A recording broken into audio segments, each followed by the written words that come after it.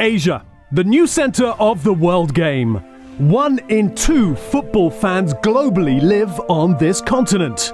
Here, homegrown legends rise and champions are crowned. Proud nations fly their colors, and tribes of fans in booming cities unleash their energy. Intense, diverse. Here, local is king. It's a new era of Asian football, a new type of fandom, a new chapter to an historic story.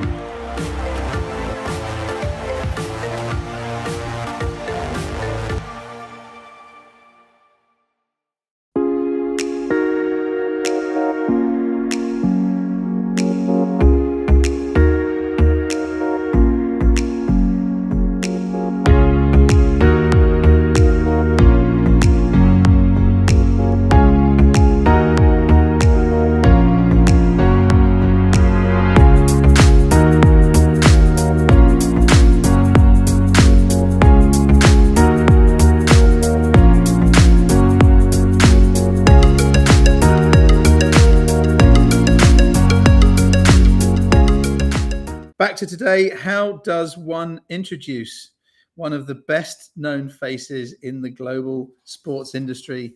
I had him down as four decades. He's he's corrected me as over five decades. So if you have just landed from Mars, uh, Lord Sebastian Coe currently serves as the non-executive chairman of CSM, Sport and Entertainment, and president of World Athletics. As an athlete, he won Olympic gold medals in the 1500 meters. In 1980 1984, he set 12 middle distance world records. He then went on to become Member of Parliament and later chaired the London Organising Committee of the 2012 Olympic and Paralympic Games. Since then, he's become the chairman of the British Olympic Association and non exec chairman of CSM Sport and Entertainment, who've been very helpful in today uh, and has received numerous honours throughout his career. In the summer of 2020, he was approved as an International Olympic Committee member and now can add the Sports Matters Academy to that list of achievements. Um, so rather than talking about, and also rather than talking about the future of the sports industry today, um, we want to find out more about him. Um, how did he get to where he is, and what advice can he give for people wanting to succeed in the sports industry? Um, so, so Seb, thank you so much for joining us. Um, Nips, I'm going to ask if we can go picture in picture on this because this is about him, not about me. Thank you so much. Where in the world are you today? I'm sitting in the CSM headquarters in London, uh, where I've been uh, during the course of the week. It's been a busy week, uh, the usual you know, rough and tumble of a sports and entertainment agency, but always good fun. And actually, we're doing pretty well at the moment. Fantastic. So, so live sports are coming back all over the world. Um, uh, some some places are way way more advanced than others. But what did the last two years look like for you? Oh, it was a roller coaster. I think it's look. I'm no different, or we're no different as a sector. I'm no different than an individual. Uh, we know the last two years impacted on everybody. Uh, we went in, in fairness, with a, I think a slightly sort of romantic view that this was going to be the great leveler, everybody was in it together. I think sadly it wasn't the great leveler. I think it, if it proved to be anything but the great leveler, communities that were most vulnerable in the past were most vulnerable uh, in the last. We have to accept that the hardest hit community uh, has been young people uh, their, their loss in some cases of sporting activity, physical and mental um, well-being, the social interactions that are so crucial in formative years, some of the educational attainments and aspirations, and, and in a way the knock-on for their career uh, glide path as well. So no, no, this has been this has been tough, and, and in the sports world, of course, everything came to a grinding halt. And if it came to a grinding halt in sport, then it hit hard the all the supplementary uh, supporting, you know, augmenting businesses uh, uh, around sport, including agencies like our own. So it was a it was a tough period for sport. It was certainly a tough period for the rights holders and the agencies involved in sport, particularly those putting on events. And actually, it was a challenging period for brands as well because you know they built their two, three, four year strategies for embedding their brand, particularly at community level through sport, and, and they didn't have they didn't have that vehicle available to them. And the most impacted, you know, and we should never overlook that. And why would I, as president of World Athletics? You have to say that it were it, it's been the competitors. You know, to have gone, for instance, in an Olympic sport from an absolute laser-like focus for a games in Tokyo that was supposed to be taking place in 2020, and then suddenly to be told in March of, of, of that year, actually they're not, you know, the opening ceremony is not July in a few months' time, but it's a year.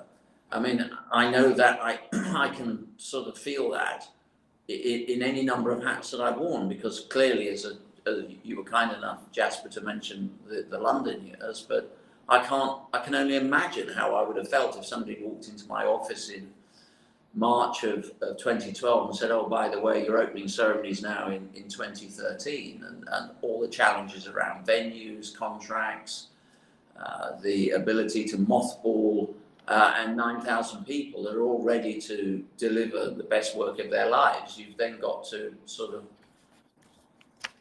ease out of them the, the, the, the, frustration and the tiredness because everybody's running on empty before the games and then get them to refocus in a year's time. No, it, it's, but the athletes, I think if you, if you identified one group who I think have come through this in an extraordinary way, it's the competitors who just showed massive resilience in terms of just mentally losing something that they had been focusing on then, of course, all the physicality, the infrastructure that was available to them suddenly became closed, particularly if they were owned, you know, by public institutions. And I was receiving video content by the day from our competitors who were the balconies of condos in Florida and hurtling across big plastic, you know, water tanks. It's, you know, it was a challenge, but they came through it. And I think we saw in Tokyo performances that just, in a way, they they defined the word resilience. Yeah, it's, it's interesting what you say about teens as well. We just had the the I, I'm in Singapore. We just had the the the, the HSBC Rugby Sevens here a couple of weekends ago, and it was great to see. I've got, I've got a teenage daughter, and it was great to see her being able to be a teenager in the stands again and actually enjoying sport and being with her mates and everyone getting dressed up. And it was it was so so wonderful. So so so i mean you talked about resilience of the of the the, the players and the athletes. Um, what positives for the sports industry as a whole do you think have come from the last two years? Uh, i think there are a number. Well first of all we've learned to work remotely. We've learned to engage with the technology that links you and i up today uh, it's allowed, certainly in my own federation, it's allowed me uh, to be more connected with the sport, not just operationally integrated, but emotionally connected to 212 countries that form the basis of world athletics, my area presidents, continental presidents. Um, you know, in a few hours' time, I'm joining a, or I'm chairing a, uh, an information session for my council uh, and the whole council will come on board uh, in exactly the way we're talking now. And those are members from as far and um, wide ranging areas as Norfolk Island and, and Manaus, San Diego, and Beijing. I mean, and, and that's how we, we, we operate. I think also um, it's meant that we have been, we've had to be very much more careful and selective about the journeys uh, and you know, the, our, our sustainability strategies. I think we've just all recognized that, you know, if we have a sustainability strategy, it's probably better to live to it rather than just get back to the old practices of flying eight time zones over 12, 13 hours to have a meeting, have supper, and then come back. You know, that I think those days are over. I think the other interesting thing for me is um, is how are we coping with what in many cases is a hybrid working pattern. I know in CSM we've now got, you know, we've got back to uh, a, a, structure. People are working as hard. The, the numbers are looking uh, as well. They're, they're looking better than ever. So I think we've all recognised that there are things that we will take into the uh, you know, hopefully into the future here when we get back to, you know, some kind of normality, although I don't think that in a way is going to happen that quickly. But I do think it means that uh, there are some very strong lessons uh, that we have taken. And I think learning to work remotely. I think interestingly, I, I interviewed Toto Wolff the other day uh, for my foundation uh, lunch. Uh, and we, we had a long conversation about what it was like to operate a team effectively remotely. I know that wearing my own hat, you know, in, football and other team sports. Uh, and actually, funnily enough, sports people are more used to working remotely because that's often what they do in, in track and field. It's not unusual to have coaches based in different continents where, you know, your main contact during the course of either a training day or post a competition is immediately to, to link up on, on laptop and discuss, you know, some of the finer points of technique or what even the training session the following day looks like. Everybody said, oh, it must be really tough. And actually the point I made is that the sports sector was probably better prepared to work remotely than almost any other sector. So, so final question about the last two years, and then let's, let's start looking forward. But um, we have the cornflake moment saying. so, so what happened? What has happened in the last two years for you that made you drop your spoon into your cornflakes and go, "Wow"? I've had a lot of those, but I guess for me, if you identified one of them, it was the extraordinary race in Tokyo uh, over the 400 meter hurdles.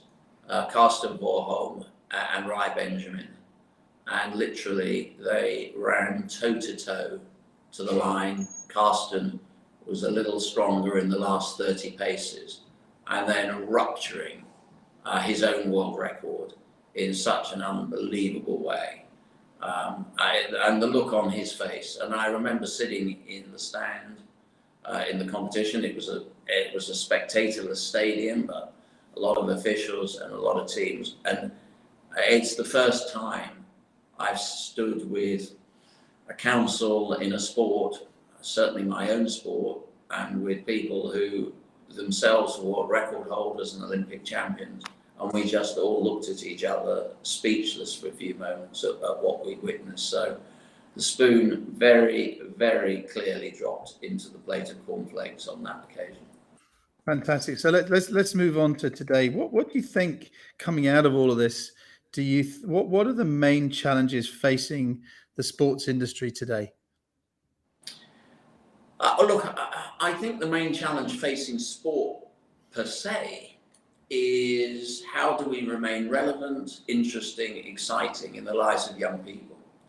Uh, and our challenge, you know, I, I, I always say to my teams in world athletics, and I'm sure other sports are saying it as well, and if they're not, they should be, that our main competition isn't from other sports.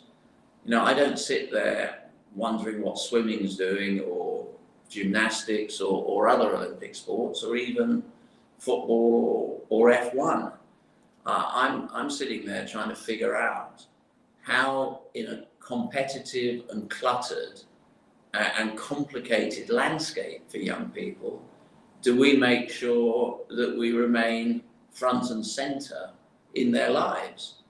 And, you know, you talked about, you know, my longevity in the sport. I have witnessed, even in my own career, you know, a sport that was being focused on and featured effectively, you know, when I was, you know, breaking world records on only three TV channels. You know, we now, and, and if you look at the fractured nature of media, the number of platforms, the fact that you and I, in five years' time, are not going to be talking probably about five or six dominant broadcasters, that, you know, we can see graphically uh, the way that's going. I think the other challenge in uh, uh, the broader challenge, and I think it's the same for rights holders or brands or, or any part of the ecosystem in sport, particularly that's trying to curate, um, you know, their their commercial partners uh, and, and sell, you know, their rights, is the agenda uh, post the last two years, which I think has really been turbocharged, is around environment, ethical practices, and health and fitness, both mental and physical. Uh, and, you know, I often laugh with my teams at both CSM and in World Athletics. And I say, you know, actually, when I'm doing chemistry chemistry sessions with brands or as a, as a rights holder or as an agency, I'm probably just as, it's just as important for me to have our head of sustainability or the teams running ESG um, as it is to have a commercial director because the first hour or so of any discussion is, you know, what is your diversity and inclusion policies as it should be? You know, where are you sourcing your services? You know, your your manufacturing. You know, are they are they ethical? Are they in accordance with ILO standards? You know, all these things are now beginning to matter, uh, and, and and certainly we have to understand that young people uh, have a consumer sovereignty here, and their consumer sovereignty is immersed in all the big moral hotspots, the moral crossroads in our lives. They're profoundly anti-discriminatory. They are, um, you know, they they have very strong trenchant views about environment, uh, about diversity and inclusion, uh, and they don't any longer, even if even if they sort of don't identify it uh, as anything other than maybe a subliminal observation, they don't sit there looking at us as simply sports agencies or or sporting organizations or political parties or charities or, or businesses. They uh, they also ask themselves a very fundamental question, and that question is: Does this organization look like the world or reflect the world that I live in. And if it doesn't, they tend to move on to other organizations or other activities. So it's a it's a very changed landscape. I think smart organizations were picking up on the hints and the direction of travel, but I do think the last two years, particularly around government agendas focusing on health, fitness, physical, and mental, uh, has really really that is a challenge, but I think it's also a huge opportunity for sport.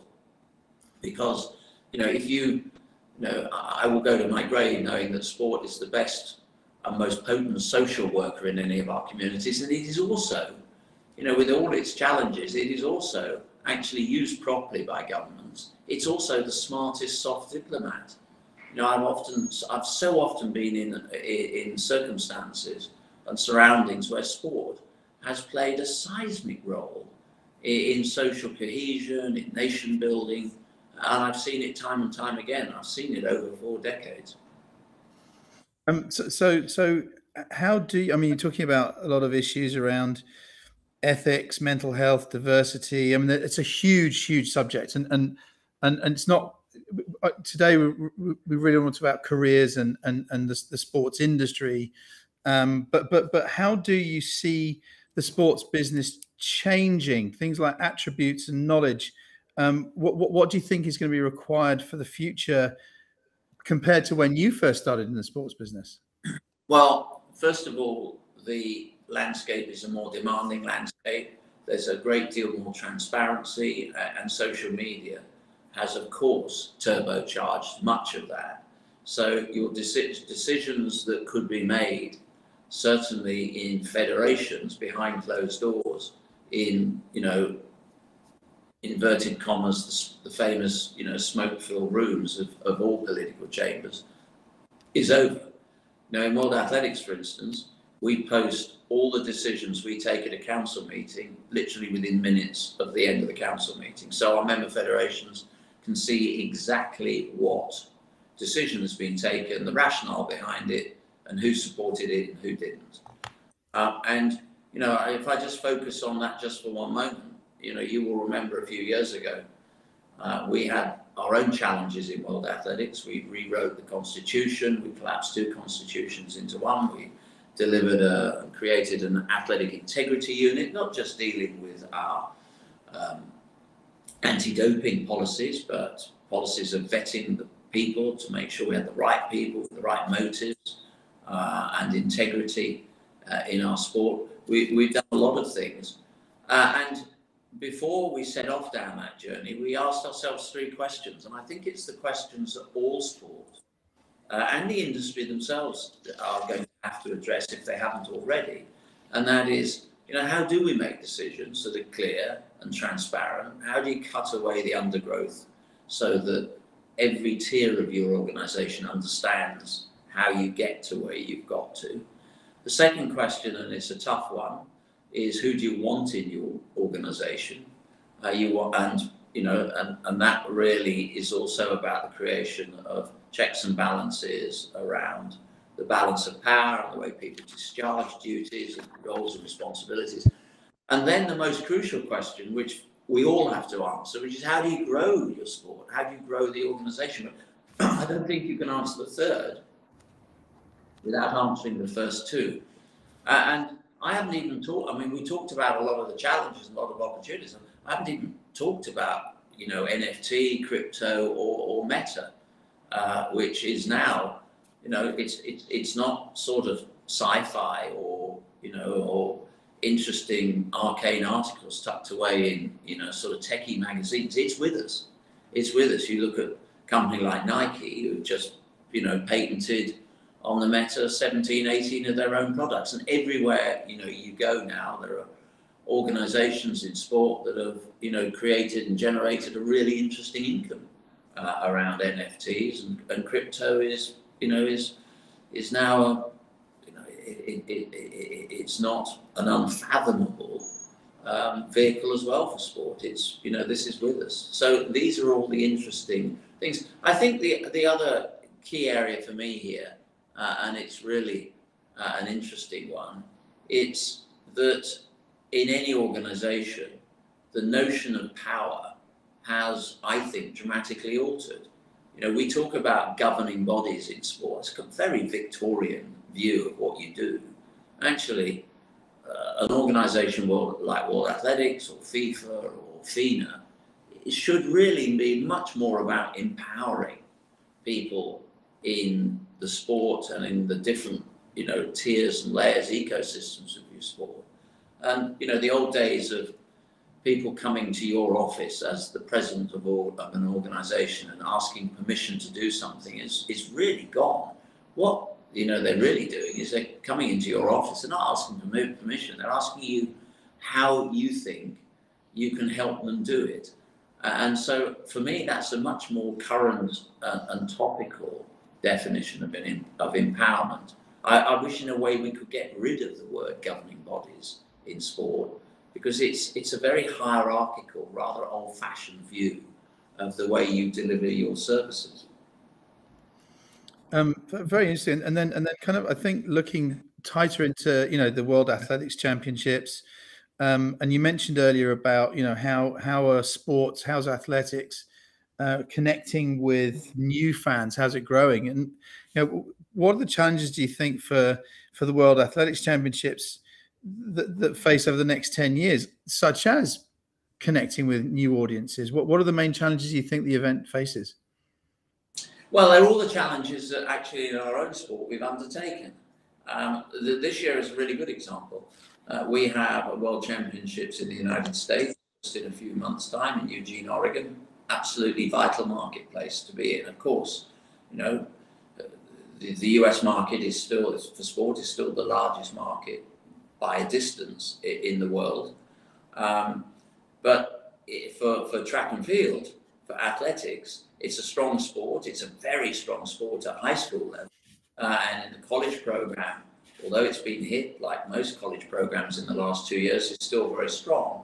But we've lost ground on some of what I would describe as the you know the staple American sports like you know NFL and um, uh, baseball, basketball, uh, even even sports that are very strong in, uh, in in some uh, universities around you know volleyball, lacrosse.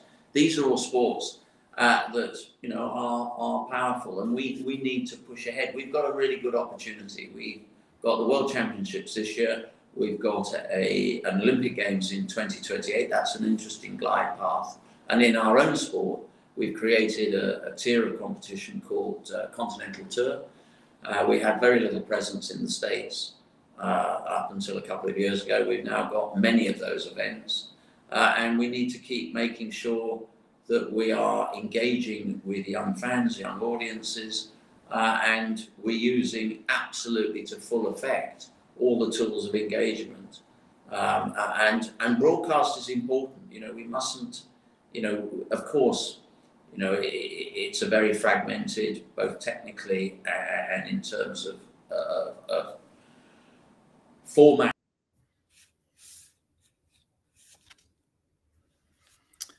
Ah, just before I got onto the uh, the, the, the technical question, uh, we seem to. Are you still there? Are you back? I'm. We're I back. I can see you and I can hear you clearly. Yeah, we lo- we lost you for a little bit there. I mean, this is one of the things about being out, working remotely means that I'm in Singapore, you're in London. We can chat to each other, but every now and then the internet does play its its little, its little hand. Um, so you you you were, you were talking about. Uh, the the the, the development of of the championships? Yeah. Look, you know, we are a very power, strong sport. Um, we have strong assets. Uh, some areas we're stronger than others. There's no doubt to me, you know, there's a lot that we can do and we are going to do uh, in the lead up to the uh, 2028 Olympic Games uh, to make sure that track and field really is, you know, it, it, it's punching its it's punching its weight uh, in, in, in that journey. Uh, and as I said, I think before the technology collapsed for a few moments, we're using every, you know, every engagement vehicle available to us and working closely with the United States uh, Track and Field Federation as well. Uh, and look, you know, we have some very strong assets. More people do what we do in, in terms of the running element of our sport than in, in, any other sport. Over the course of a couple of weeks, hundreds of millions of people identify themselves as um, recreational runners. If we go back to the agenda of the last two years, which is really now heightened, you know, we're probably better placed than any other sport to tap into that. Uh, because the health, well-being, physical and mental of our communities uh, is most accessible as an agenda through through through running, um, and you know that's that's something that we are really going to focus on. Uh, we've got a couple of campaigns that have been very powerful campaigns in our sport. One is around clean air. You know, if we're not a sport that's promoting clean air, uh, then we're probably not about much else. Uh, that is really important you know, we, we talk a lot about getting people fit and healthy and, and ideally through running. Uh, but we don't want to be set, we don't want to be replacing one set of pathologies with another set of pathologies because we're encouraging them to do it in, in, in environments where, you know, the, the air quality is, is, is potentially injurious to them. I think the other area for us too is to make sure that we form even stronger partnerships uh, with those uh, NGOs and, and governments out there that have recognized that sport is a really, really vital tool uh, in, in that journey for neighborhood well-being and fitness. There's, I mean, that's a fantastic segue into the next section. So I want to talk about the, the real crux of this is about career, you know, working in the sports industry um, sometimes in some parts of the world, sport suffers to gain credibility as a career choice, particularly amongst an older generation who might want their kids to be doctors or lawyers or accountants and stuff. Um, and we, you know, we do a lot of work with music and gaming, which faces the same issues. Um, how can we make a career in sport more sexy? Maybe that's the wrong word, but well, I'm probably not a, really reliable witness here because as Chancellor of Loughborough University, which for the last six years has been voted the top, the, the, the, the number one sports university in the world, I'm not just talking about performance, but you know, our, all our sports science courses, which are oversubscribed about eight to one. Um, we take sport and the potential for careers from sport very, very seriously.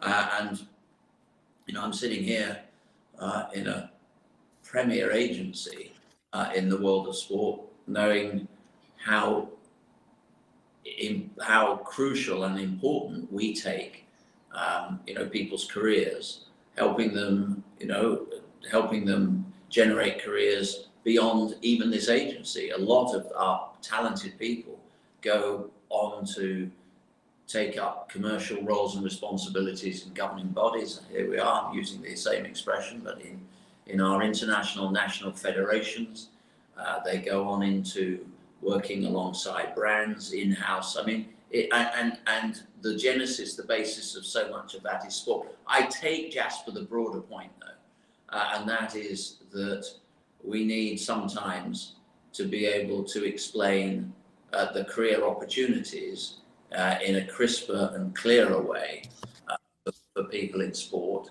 Uh, and actually, often, uh, the one area that I know from other hats that I wear commercially that, you know, all being equal uh, on a CV of equal ability and academic rigor and, and, and experience, you do tend to go for those that have got a sporting background because you also know uh, that they've been able to subject themselves at whatever level they've played the sport to a period of focus and you know collegiate um, uh, collegiate engagement because team sports is is extremely important for that. And if it's an individual sport you know that they have the ability to you know to focus and, and probably work remotely and, uh, and not being supervised all the time. So you know and, and and if you're looking at the health and well-being of an organization you'd rather have people in there that are looking after their health, and often that's done through sport, than organisations where you know people are just sort of hanging through the day because they don't really have the, the physical reserves to get through it. So I'm not saying it's the only thing you would look at, but I do think that you know I am always I would say this, wouldn't I? I'm always attracted to, on a CV to somebody that has been engaged at whatever level in sport because I think they'll have insights into things that are going to be helpful to your organisation. There's a there's a very strong message that came that comes through when we talk to create you know uh, TikTokers and YouTubers and creators in that space and gamers um, that, that that it's always do what you love and that that's that's come across clearly clearly there as well. Um, talking about careers, what is what's the best career advice you've ever had, and what advice could you give for anyone looking to get into the sports industry? Well, the worst career advice I've probably ever had was from a careers, um, well, somebody who was nominally responsible for careers at a school I was in in Sheffield, which was, you know, forget athletics. You know, the chances of you doing anything are really limited. Um, then the worst career advice I had actually was from a group of coaches back in my teens that told me I'd never be um, tall enough to uh, run a fast 800 meters and never strong enough to be a miler. And I sort of managed to disprove that slightly. So I'm always wary of anybody dis- di- distributing career advice to anybody. Uh, and I don't mean that in a sort of cavalier or, you know, sort of insouciant way. I just actually think people figure it out. Uh, and you do what you have a passion for. Uh, and the best career advice I can give anybody is do not effectively be told that you can't do something either because nobody's done it before or you know it, it's just not something that you're cut out to do because if you genuinely believe that it's something you want to do, I would absolutely encourage that person, that young person, to to explore it. And look, you know, not everything has a fairy tale ending. Sometimes, you know, you're going to get to the point where you realise, you know, it, it was really interesting. I uh, going back to my interview with Toto Wolff for my foundation, the Sedco Foundation, just the other day.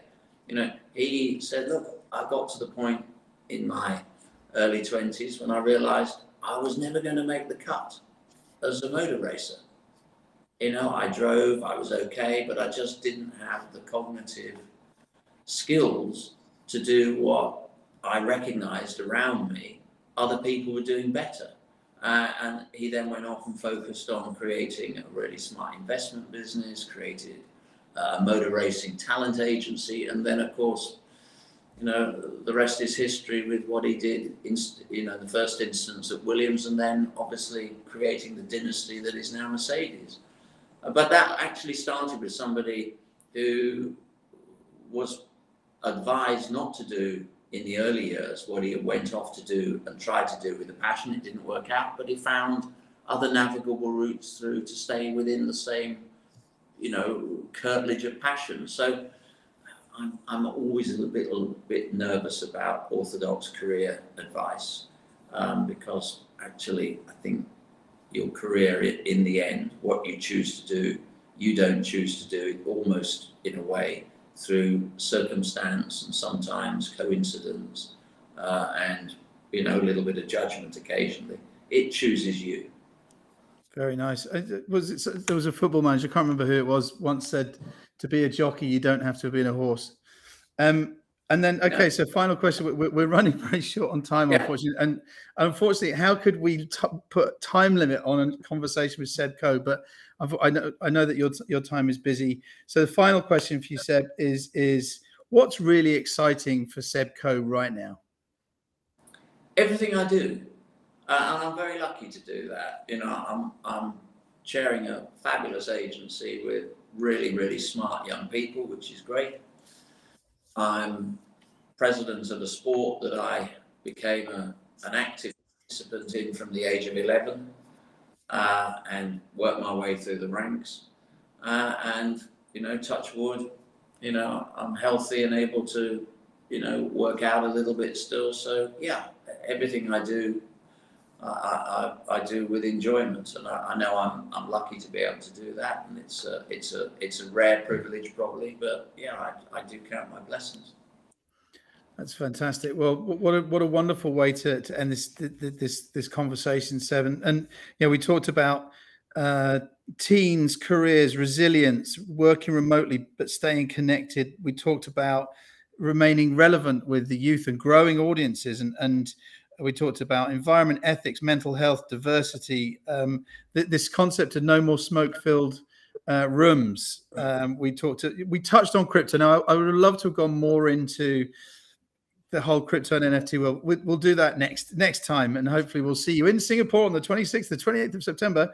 Um, uh, this concept of don't listen to your career advisors is absolutely awesome. Um, doing what you love, which is which is just such a wonderful thing, um, and and then don't be told you can't do something.